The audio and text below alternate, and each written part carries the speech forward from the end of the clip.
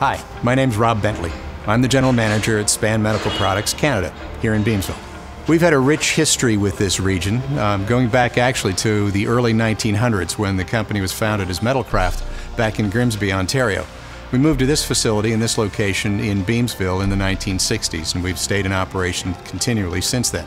At the time, we started to focus almost exclusively on the long term care market, particularly manufacturing beds for long term care nursing homes and skilled nursing facilities.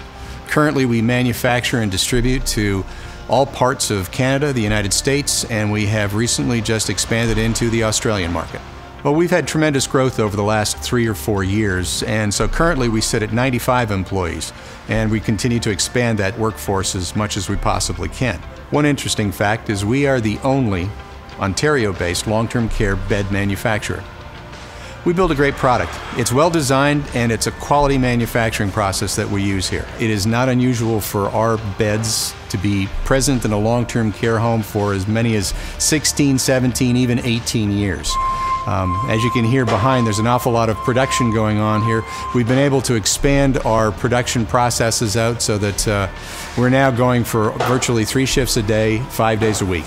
Much of what we've done in the in the past few years has really been getting involved with the local employment agencies and making sure that we can provide a significant opportunity for people here to uh, work in Beamsville, live in Beamsville, and be uh, a strong contributor to the overall you know, strength of our community.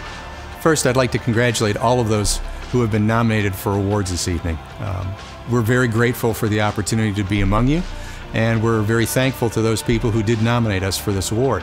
As everybody knows these days, there's a large number of people who are coming into their quote unquote golden years. We're very grateful for the opportunity to continue to build quality and innovative products to provide them with the kind of environment that gives them safety and gives them a quality of life that we know we all want them to enjoy.